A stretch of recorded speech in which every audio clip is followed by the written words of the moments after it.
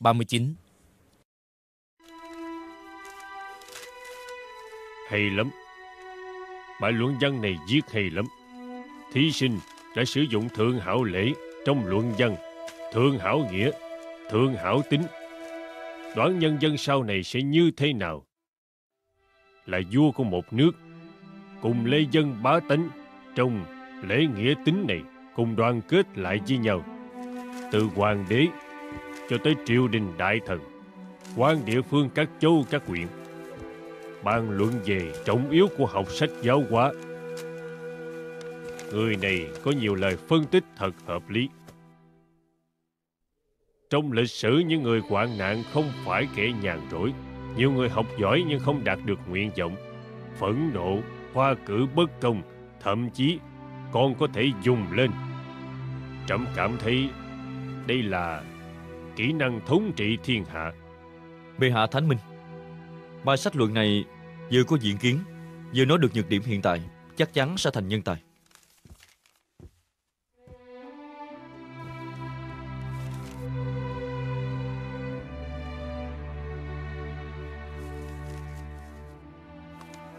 Được à, Như lời triệu đại doãn vừa nói Thần nghĩ rằng Người này Có thể làm trạng nguyên Khanh nhìn coi là của ai làm vậy?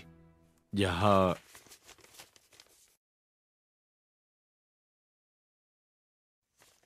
Lỗ lương À, thì ra là của Lỗ Lương giết à. Triệu phổ. Vậy Khanh, có quen biết người này không? Có biết Có biết Đã coi hết rồi chứ? Có còn nữa không? Vậy thì kết thúc ở đây đi. Duyệt, theo ý triệu phổ, cho lỗ lương làm trạng nguyên khóa này. Bệ hạ thánh Minh. Lư đa tốn. Có thần, chủ khảo có công. Thưởng, bổng lộc một năm, thần lãnh chỉ tạ ơn. Bình thân, tạ ơn bệ hạ. Bệ hạ Tiên chủ khảo Tống Kỳ, Vẫn còn chưa định tội. Tệ nạn thi cử đã có từ lâu, Có từ thời nhà đường cho tới ngày hôm nay. Quan chủ khảo vì lợi ích cá nhân là chuyện thường thấy. Còn Tống Kỳ, Ở Hàng Lâm học sĩ viện siêng năng cần mẫn. Hơn nữa, Lại là người được triệu tây tướng tiến cử. Thần cho rằng Có thể cách chức quan Coi như trừng phạt. Ngoài ra những kẻ đã nhờ kệ Tống Kỳ cũng nên nghiêm trị. Đặc biệt, những vị trọng thần trong triều đình như Đào Thừa Chỉ. Trẫm đã hạ chiếu. Khoa cử không được quan liêu. Tống Kỳ không phải là không biết. Biết tội phạm tội không thể tha thứ. Ý của trẫm phải trừng phạt nặng. Nhưng theo lời quan nghĩa vừa nói, cũng thấy có lý. Vậy sẽ xử lý khoan hồng. Các chức quan Tống Kỳ, Đào Cốc, miễn tới sở kiêm nhiệm chức hình bộ thị lang, giáng xuống hình bộ viên ngoại lang. Thần Tuân chỉ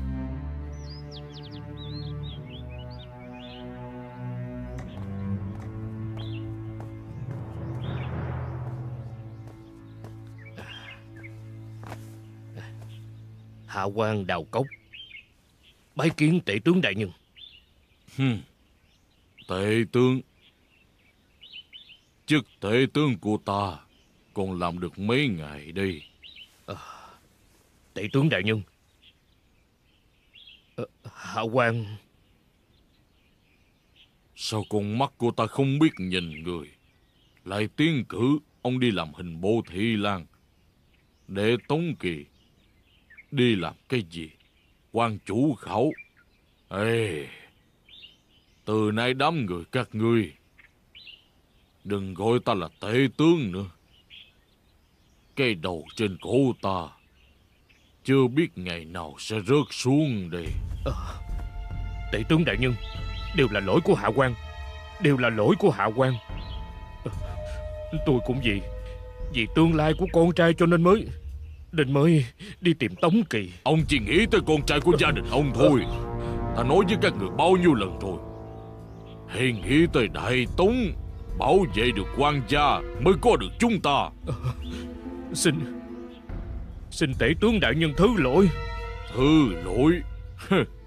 Đào cốc ơi đào cốc. Sách của ông đều nhét hết vào bụng chó rồi hay sao? Cút đi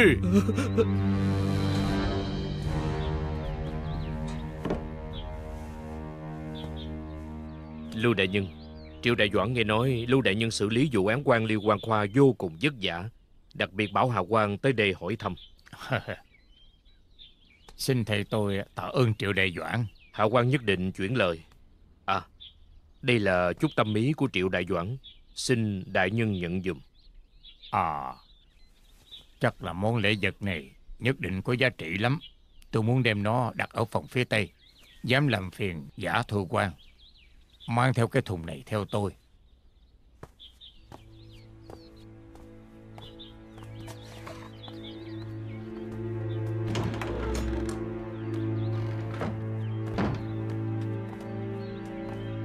Hả? Làm phiền giả thư quan rồi. Xin hãy đem phần lễ vật này đặt lên trên cái thùng lớn này. Quan đệ tặng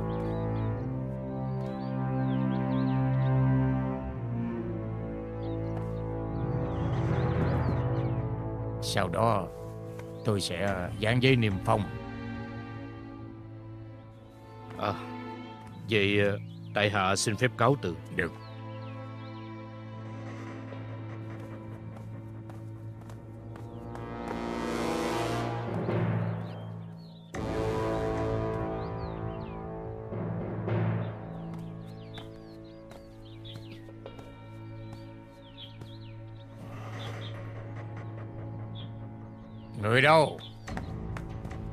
Đại nhân. Người tới phụ tể tướng một chuyến Mời tể tướng tới đây. Nói là ta có một trọng án Muốn thương lượng với tể tướng. Dạ.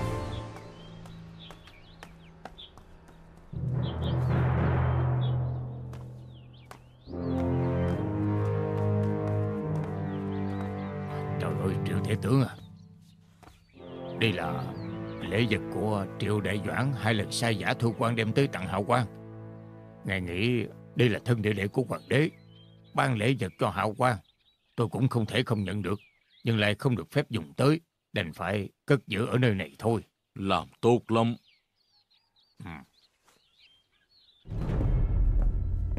Ông ta đem thứ được ban tặng Cất hết vào căn phòng phía tây trong nhà sao Sao ông ta làm vậy chứ? Tại hạ nghĩ rằng Ông ta không dám không nhận Nhưng mà nhận rồi Lại không dám dùng Theo tôi suy đoán Ông ta làm vậy là có hai dụng ý. Thứ nhất Ông ta muốn nói Đồ của đại doãn Ông ta sẽ không nhận. Cho dù đã nhận rồi Sau này cũng sung công quỷ. Thứ hai Ông ta muốn nói Sau này đại doãn đừng có tặng quà cáp gì nữa Có tặng cũng vô ích. Điều ta lo ngại là Một ngày nào đó ông ta đem chuyện này nói cho quan gia biết Thì ta sẽ phiền phức lắm. À, Cho dù ông ta nói với quan gia Thì cũng không sao. Nếu sau này quan gia có hỏi tới Hạ quan cũng có kế này. Triệu đại nhân có chuyện gì? Nói đi. Thần ở nhà phía tây của quan ngự sử Lưu Ôn Tẩu Nhìn thấy có hai cây rương. Trên đó đã dán niềm phong Ghi Hoàng đệ tặng. Chậm. Chưa từng ban cho khanh ấy vật gì cả Bệ hạ Chữ đệ này là chữ đệ của huynh đệ. Lũ ông Tẩu nói với thần Đó là của triệu đại doãn ban cho. Trong rừng lớn chứa đựng 5.000 quan tiền. Trong rừng nhỏ có rất nhiều kim ngân châu báu, giá trị liên thành. Lưu ông tổ không dám chậm trễ bẩm báo với thần, thần liền báo ngay với bệ hạ. Chậm biết rồi. Khanh đi trước đi. Dạ,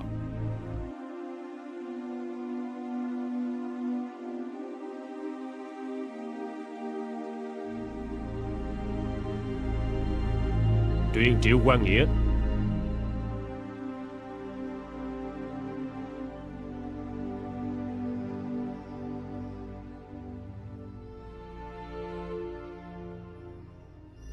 Thân Triệu quan Nghĩa Bái kiến bệ hạ. Tại sao tặng lễ vật cho Lưu Ôn Tẩu? Hả? Xem ra Thần đã thua thật rồi. Thần phải chúc mừng bệ hạ. Lưu ông tẩu Đúng là hiền thần Thua cái gì? À Thần nghe nói Lưu ông tẩu tính tình thẳng thắn Chí công vô tư. Vì quan ngự sự có thành liên hay không Liên quan đến uy tín của Đại Tống Và cũng liên quan đến bền vững của Giang Sơn Triệu Thị cho nên thợ muốn thử ông ấy một lần Nên sai giả diễm Đem tới cho mấy năm ngàn quan tiền Giả Diễm luôn có cảm tình đối với Lưu Ôn Tẩu, cho rằng ông ta chắc chắn không nhận số tiền. Nhất định sẽ đem số tiền đó đưa lại cho bệ hạ, hoặc giả là trả lại cho thần. Thần không tin, cho nên đã đánh cược với ông ta. Thật không ngờ, lần thứ nhất Lưu Ôn Tẩu chịu nhận. Giả Diễm nhất định không phục, nói muốn thử lại thêm một lần nữa. Vậy là hôm nay, thần lại đem cho ông ta một số châu báu. Quả nhiên, ông ta nhận thêm lần nữa. Thần liên nghĩ rằng, bộ mặt thiết diện vô tư chỉ là vẻ bề ngoài thôi. Không đáng để cho bệ hạ tin tưởng. Thần đang muốn trình tấu với bệ hạ. Bệ hạ đã sai Dương Ký Ân tới triệu quán thần rồi. Nhất định là Lưu Ông Tẩu đã nói gì đó với bệ hạ. Xem ra, cái biệt danh Lưu Lão Hắc của ông ta đúng là thật rồi. Cho nên, thần phải chúc mừng bệ hạ. Trò cá cược này của Khanh xem ra cũng hay lắm rồi. Lôi kéo cả trẫm vào trong đó. Lưu ông Tẩu chắc chắn không ngờ tới trò chơi này. Không biết ừ, ông ấy đã nói với bệ hạ về thần như thế nào. Lưu ôn tẩu nhận tiền và đồ của Khanh là vì không muốn làm mất mặt Khanh. Cho nên, đem vào nhà niêm phong lại, sau đó bẩm báo với triệu phổ, tấu trình lên trẫm. À, tể tướng tự tới trình báo. Chỉ không biết là tể tướng xây dựng phụ mới Nguy nga tráng lệ ai cũng thấy khen hết. Đã có trình tấu với bệ hạ hay chưa? Trẫm có nghe nói. Trẫm muốn đi xem thử.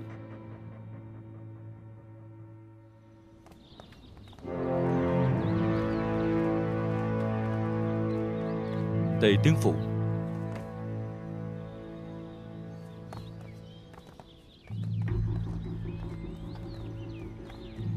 Vị đại nhân này ngài là Ngươi ra. À, Phu nhân quan gia tới rồi. Thần thiếp à, khấu kiến nhân không bệ kiến hạ. bệ hạ. Bình thân. Tạ ơn bệ hạ. Trẫm lần trước tới Diên Thâm Còn là Kiến Long năm hai. Hôm nay đã là khai bảo năm thứ ba rồi. Thời gian trôi qua nhanh thật. Lần trước lúc trẫm tới đây Các khanh còn ở căn nhà cũ. Dạ căn nhà này cũng mới ở được 2 năm. Này đã khác trước rồi đó. Ừ, Phải nhà ở hiện nay đúng là có tốt hơn trước. Căn nhà này cũng là của Lý Xu Tướng tặng cho. Nếu không thì thần thiếp và con cái tới Kinh Thành Cũng không có chỗ để mà ở.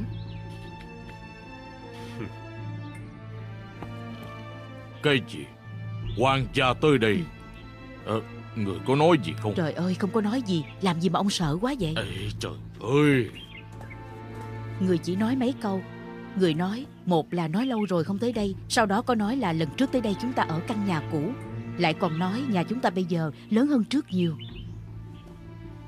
Nói nhà chúng ta Bây giờ lớn hơn trước nhiều rồi. Bà trả lời thế nào? Tôi chỉ là ứng đáp thôi. Tôi nói là nhà cũ kia là của Lý Sùng cự cho mình.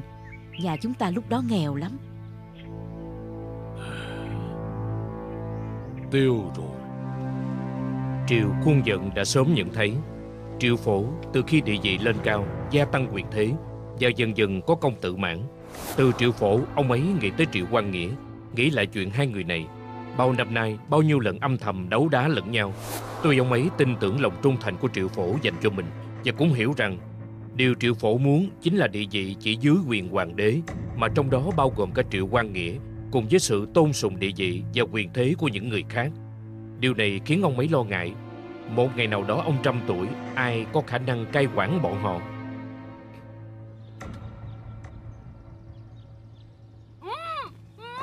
Đi, đi. Ủa, nhìn có nè. Nhẹ tay, nhẹ tay. Sao vậy chứ? Đây Nè, nhẹ tay thôi Đừng có làm mã bị thương, lên xe. Nhìn cái gì mình nhìn, muốn chết hả? Bà nhà nó. Ê, sao thất đức quá vậy? Cho xe chạy đi Không Mau. ai quản được họ sao? Phải đó. Sao hết thiệt là tội nghiệp quá Thất đức quá đi. Để cho Ờ phải Nghiệp ghê Bắt người ta đi như vậy chứ. Thì hoàng thân quốc thích. Hey, Thua cả bọn sơn tặc. Lão báo dừng bước Chuyện này là sao vậy? Ê, Con trai của phù dương gia Phù chiêu thọ. Cậu ta thấy thích cô gái trẻ đó Nên cướp đi luôn. Hey.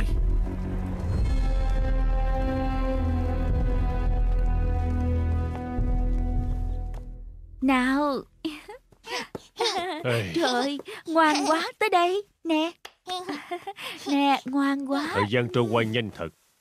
Mới đó, trưởng tôn của trẫm Duy Chánh đã 4 tuổi rồi.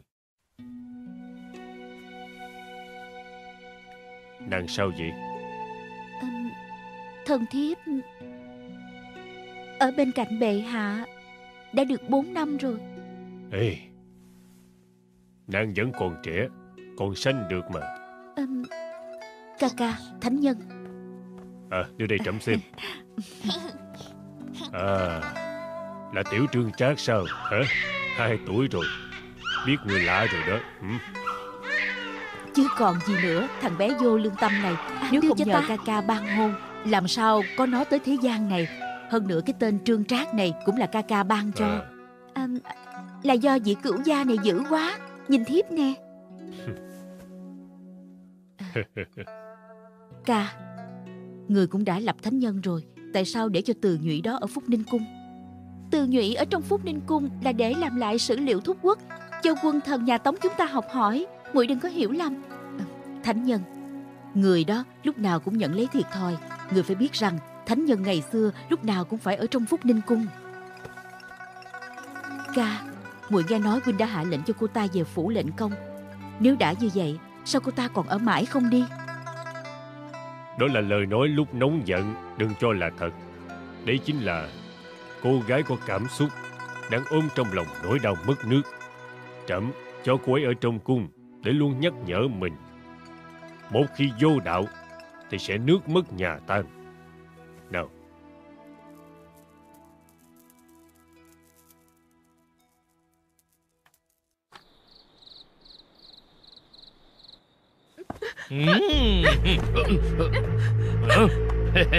Ông đừng bước tới.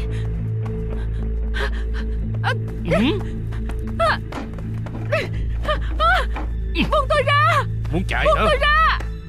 Buông tôi ra! Buông tôi ra! Buông tôi ra!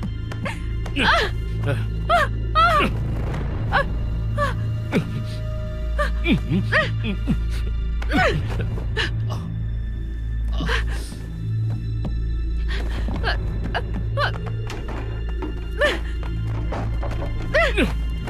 chạy nữa hả?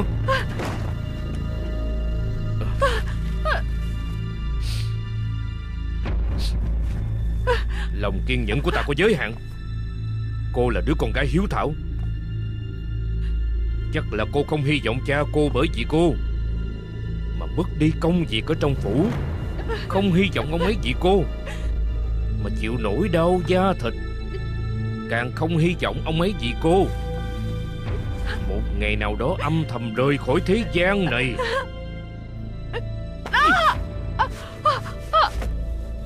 Ta đột nhiên nhớ ra Cô còn một đứa tiểu đệ rất đáng yêu. Hình như đó 7 tuổi Thật là đáng yêu. Ê, Nó đau khổ hay vui vẻ Nó sống hay là chết Đều nằm trong lòng bàn tay của cô.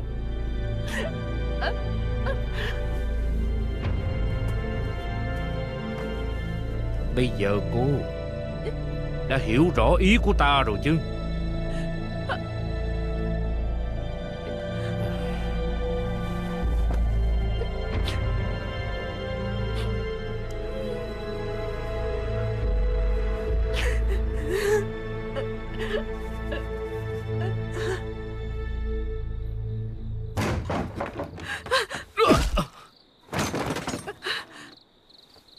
Cô nương đừng sợ Tôi tới đây cứu cô Nên xin cô nương mau chóng đi cùng ta. Tôi không thể đi theo huynh. Nếu như tôi đi theo huynh rồi Bọn chúng nhất định không buông tha cho cha tôi. Tôi không thể đi. Không giấu cô nương. Mấy ngày nay bần đạo đều theo dõi các người. Cha của cô đã bị hắn hại chết rồi. Chỗ này không nên ở lâu. Dám xin cô nương Mau cùng tôi tới biển kinh kiêu quan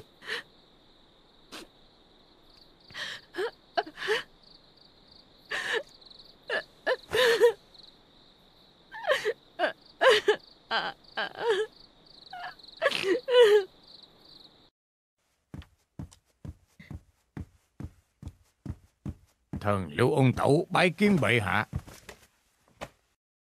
Bình thân. Tạ ơn bệ hạ. Khởi tấu bệ hạ, Hàng Khuê dẫn theo một cô gái trẻ đi tới ngự sử đài giống trống cơ quan, nhưng lại không chịu nói rõ nguyên do, muốn thần bẩm với bệ hạ, xin được cầu kiến. Bây giờ thần dẫn hai người tới, đang chờ ở bên ngoài. Truyền. Dạ.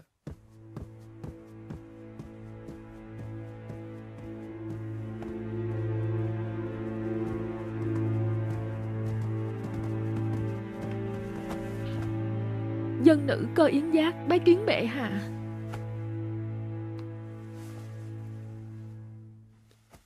Bệ hạ đừng trách Bần đạo lại tới làm phiền người. Nếu người trong thiên hạ Đều có thể như đạo trưởng đây Giữ vững công bằng Lúc nào cũng làm phiền trẫm Thì Đại Tống sẽ được sớm ngày hưng thịnh. Đạo trưởng dẫn cô gái trẻ này tới đây Nhất định là cô ấy có quan tình Thiếu trẫm, không thể giải tỏa quan khuất, Đúng không? Quả đúng như vậy. Bần đạo ở gần phía tây kinh Lạc Dương, Nghe ngóng được một vài sự tình, Cũng coi như là bằng chứng. Kính xin bệ hạ xem qua.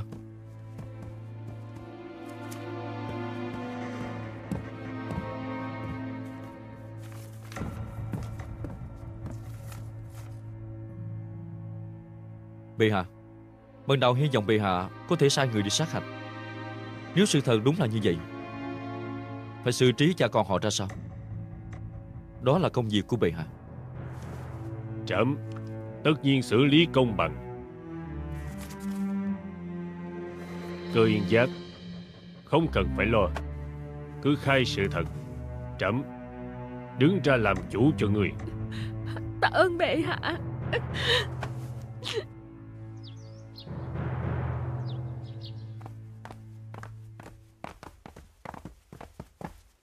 Triệu đại doãn, phụ phu nhân có chuyện không hay? Có chuyện gì? Lúc nãy Dương Kế Ân tới ngự dược diện Âm thầm báo với Hạ quan Con trai của Tây Kinh Phụ Dương Gia gây chuyện. Quan gia đã lệnh cho Lưu Trung Thừa trả án Và còn hạ chỉ phải làm tới cùng nghiêm trị theo luật. Ông nói lại cho ta nghe. Phụ Dung à? Ông ra ngoài trước đi. Hạ quan cáo từ. Quan nhân Vậy Các bá. Nè Mau đi mời Lưu Đại học sĩ. Dạ. An Trung Cưới con ngựa quý của ta Lập tức phi tới Lạc Dương Đem sự tình ở đây Nói với cha con phụ Dương gia Để họ sớm có chuẩn bị. Dạ. Quan nhân Ca ca thiếp thực sự làm ra chuyện này sao? Ca ca nàng có chuyện gì mà không dám làm ra chứ?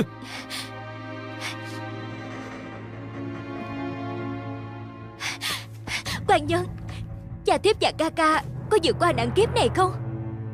Vụ án nào hàng khuây báo lên quan gia đều sẽ phân xử triệt để. Lần này thì tốt rồi Triệu phổ lại có cơ hội châm dầu vào lửa. Vậy chàng hãy đi tìm gặp quan gia Kể lại công lao trước đây của Trời cha thiếp ơi ta nói gì nữa chứ? Quan gia rõ hơn hay hết kia mà. Hy vọng quan gia Nghĩ lại chút công lao của cha thiếp ngày xưa Mà nhẹ tay dùm Lưu ôn tẩu. Hy vọng Lưu ôn tẩu chỉ bút hạ lưu tình. Có vượt qua được nạn kiếp này hay không? Tất cả phải trông vào ý trời thôi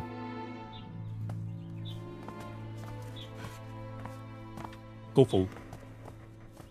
Cô phụ Bây giờ phải theo lệnh khởi hành?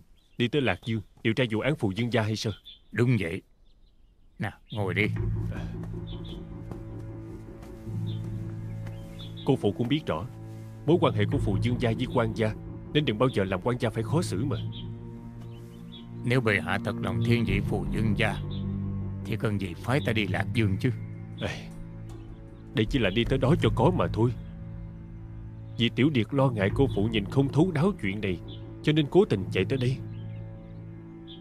Là triệu đại doãn Sai con tới đây à? Ê, Điệt Nhi chỉ là nghĩ cho tương lai Của cô phụ sau này mới tới đây thôi. Mong cô phụ hãy suy nghĩ lại mà. Ta đã hơn 60 tuổi đời rồi Nên làm như thế nào? Lẽ nào ta không biết? Lẽ nào người không nhìn thấy hả?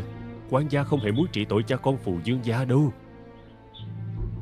Làm sao không biết được? Chẳng phải rõ ràng lắm hay sao? Phù dương gia từng là ân nhân cứu mạng của quan gia mà. Sau đó lại mạo hiểm diệt tộc Quyết tấn phong quan gia. Nhưng mà con đừng có quên quan gia càng coi trọng Giang Sơn xã tắc hơn đó. Tuyệt đối sẽ không vì thiên vị cá nhân.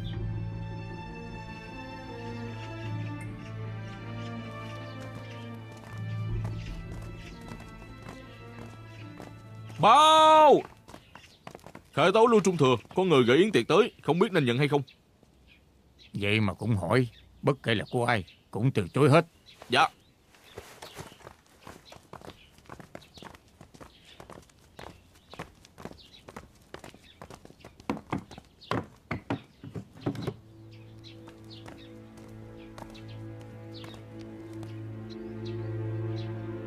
Tại hạ Phù Chiêu Thọ Nghe nói Lưu Trung Thừa Đã tới Tây Kinh. Có chuẩn bị một vài món ăn Cho Lưu Đại Nhân Tẩy trần Đỡ sợ.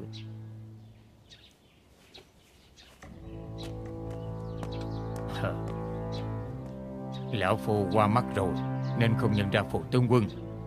Hạ quan tới về việc công Chưa từng nhận sự giúp đỡ Càng không muốn nhận yến tiệc. Tâm ý tốt của cậu Hạ quan đã hiểu rồi. Xin đem yến tiệc về cho. Sao đây Ta đích thân tới. Mà cũng không để mặt ta sao? Cho dù phụ dương gia tới đây Hạ quan cũng làm như vậy. Lưu ôn tẩu. Ông to gan lắm.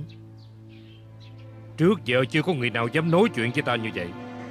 Trong mắt của ông Ngay cả phụ dương gia đương triều cũng không có.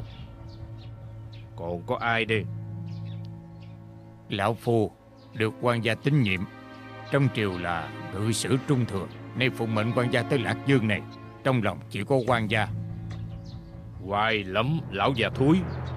Tôi nể mặt ông Ông đừng làm tới. Tôi nói cho ông biết, Nếu như ông không muốn bị tru di cửu tộc, Thì khôn hồn, Ở lại đây hai ngày, Nên ăn thì ăn, nên uống thì uống. Sau đó về kinh cút xéo. Lưu mộ tới đây cần phải làm gì? Tự biết cân nhắc. Cậu dám ra ngoài hy lộng bổn quan Là tội lớn khó tha. Nhưng niệm tình phụ dương của cậu Tạm thời không truy cứu. Đi về đi. Ông muốn đuổi tôi đi. Ra ngoài. Tôi không đi đó. Ông làm gì tôi? Người đâu? Có. Bắt hắn cho ta. Dạ Chư thọ không được vô lễ.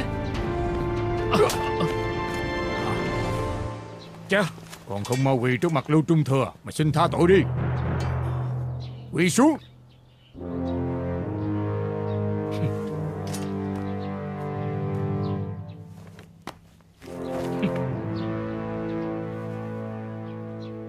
Bổn quan vừa mới được biết Lưu Trung Thừa tới Tây Kinh Nên tới viên thăm À Phù dương gia vất vả rồi Đa tạ. Huyện tự tới đây quấy rối Cũng do bổn dương quản giáo bất nghiêm mới như vậy.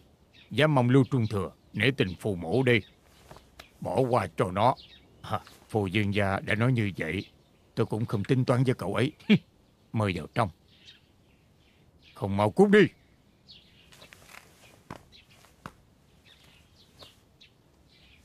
À, mời, mời.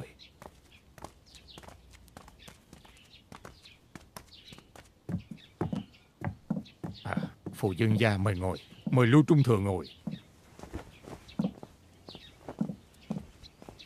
À. Chiêu thọ tới đây thăm Lưu Trung Thừa, còn mang cả tiệc rượu. Đó cũng là tấm lòng thành đối với Lưu Trung Thừa. Ờ. Nhưng nó không biết nó làm như vậy, Đối với Lưu Trung Thừa là không hợp lý. Hả? Bởi vì Lưu Trung Thừa Là một người thiết diện vô tư. Cho nên bổn dương phải vội vàng chạy tới đây ngay. Ngài coi, Nếu không thì à, chắc đã gây ra một trận hiểu lầm lớn rồi. Sợ dĩ nó ăn nói vô phép tắc, Có thể là vì Ngài từ chối tấm chân tình của nó. Cộng thêm nó cũng vừa mới uống khá nhiều rượu nữa. Cho nên mới mạo phạm tới lưu trung thừa đây. Chứ bình thường cũng không tới nổi vậy đâu. Chiêu thọ từ sau khi về Lạc Dương rồi vẫn luôn an phận thủ thường, chưa từng gây chuyện thị phi, càng không có làm chuyện phạm pháp gì nữa. Phu dương gia có ý binh vực lệnh công tử Hay là thực sự không biết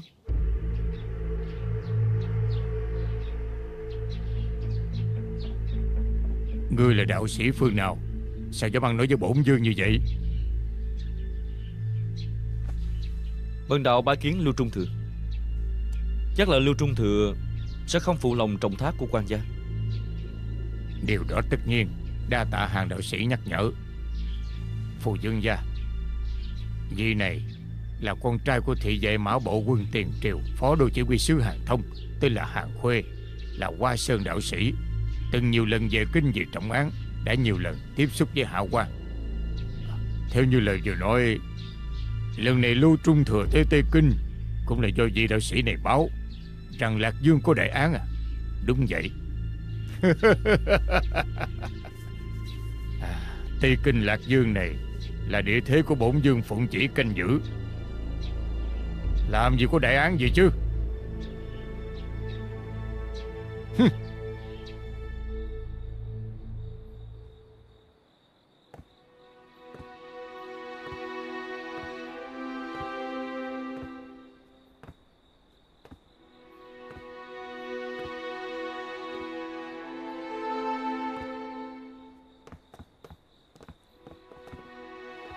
Bệ hạ vẫn chưa ngủ sao? Để thần thiếp phụng giá về nhĩ phù điện nha. Trẫm có việc cần phải làm. Nàng về ngủ trước đi. Có chuyện quan trọng gì ngày mai xử lý? Dạo này bệ hạ mệt nhiều Thần thiếp thực sự không yên tâm. Trẫm muốn ngủ ở đây. Vậy để cho bệ hạ thật sự ngủ yên Thần thiếp cũng sẽ ở lại đây Chăm sóc cho người. Ngoan đi. Nàng về ngủ đi Có phải là bệ hạ muốn đến Phúc Ninh Cung không? Sao nàng lại có thể sinh ra ý nghĩ này chứ? Trẫm gọi từ nhụy vào cung là gì lẽ gì? Nàng hiểu rõ kia mà. Thôi được. Bệ hạ vừa không chịu về nhĩ phù điện Cũng không cho thần thiếp ở lại đây. Thần thiếp về là được chứ gì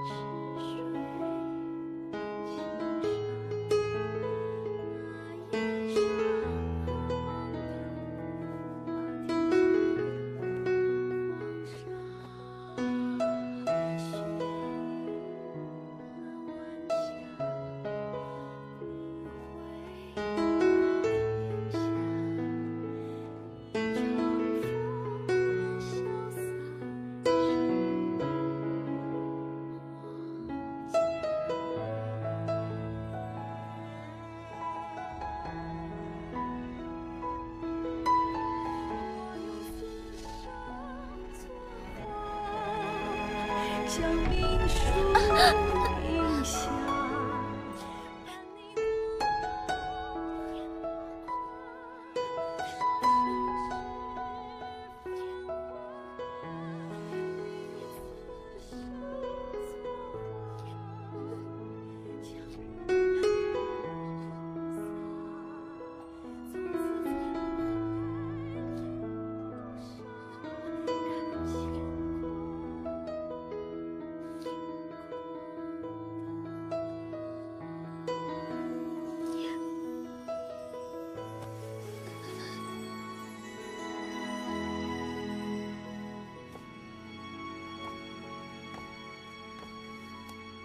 Khởi tấu thánh nhân Tiểu nhân phụng ý chỉ của bệ hạ Đưa nữ tử cáo trạng Lạc Dương Thành vào trong cung Bệ hạ nhờ thánh nhân sắp xếp chỗ ở tạm thời chờ sau khi kết thúc vụ án mới cho rời khỏi cung. Cho cô ta ở cảm an điện đi. Dạ.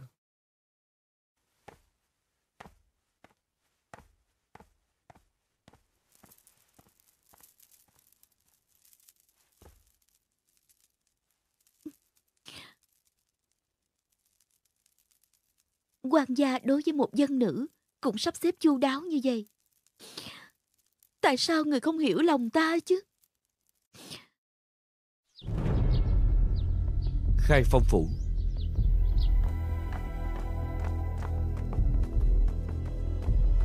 Bái kiến triệu đại doãn Dương Kế Ân kêu tại hạ báo lại quan gia đã sai Cao Hoài Đức đi tiếp nhận phụ dương gia trấn thủ Tây Kinh rồi Đồng thời lệnh cho phụ dương gia về kinh suy nghĩ Còn nữa quan gia kêu lưu ông tẩu mang theo thượng phương bảo kiếm đi còn được cấp quyền trảm trước tấu sao?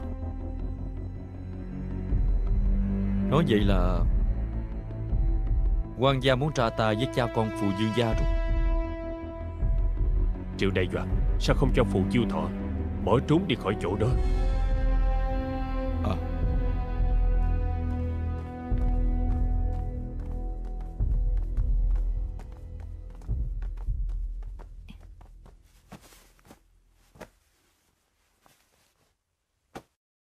Thần thiếp tham kiến thánh nhân. Bình thân đi phù phu nhân. Mời ngồi. Đa tạ thánh nhân.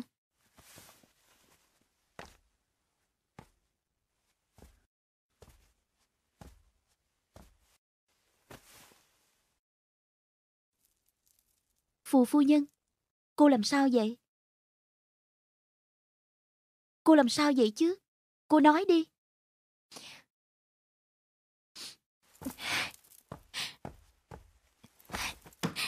Xin thánh nhân cứu giúp cho thần thiếp. Mau.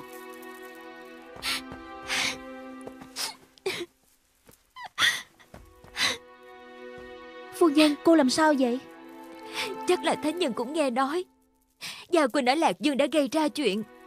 Còn liên lụy tới phu dương. Có lẽ là thánh nhân không biết. Bao nhiêu năm nay, gia đình thiếp luôn một lòng một dạ trung thành hầu hạ quan gia. Nhưng không ngờ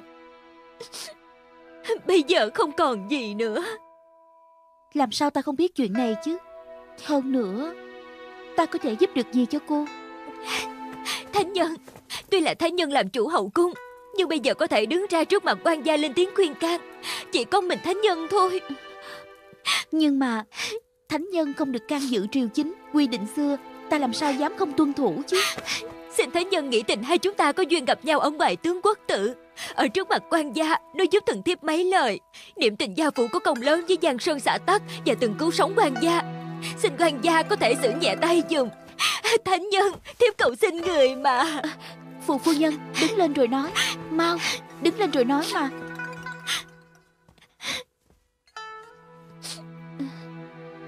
Ta sẽ tận lực Đi trình tấu với quan gia chuyện này mà. Đa tạ thánh nhân.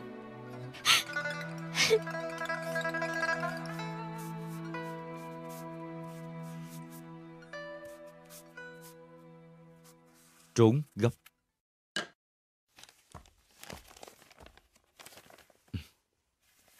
Mau đem bức thư này Tới thành Lạc Dương. Nhất định phải đích thân đưa tận tay phù dương gia. Tiểu nhân hiểu rồi. Khoan đã. Đại doãn còn gì dặn dò?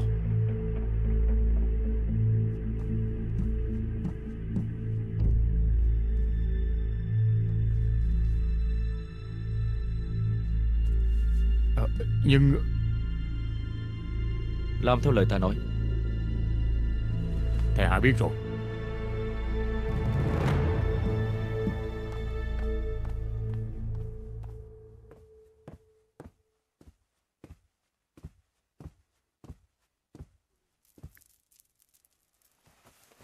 Bệ hạ.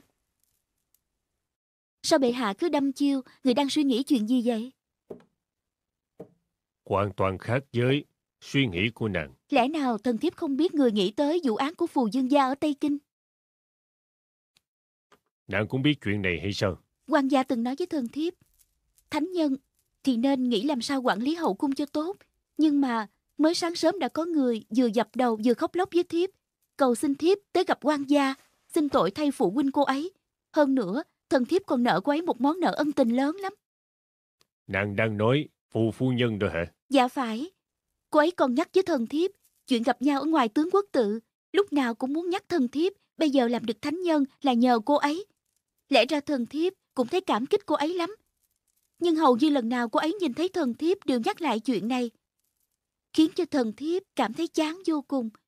Thần thiếp cảm thấy từ câu chuyện cơ yến giác kể, phụ tử phù gia thật sự là tội lớn Tây Đình. Bệ hạ, làm sao dị nể tình riêng được?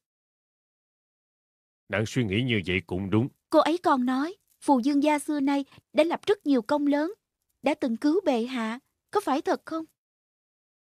Đúng là như vậy.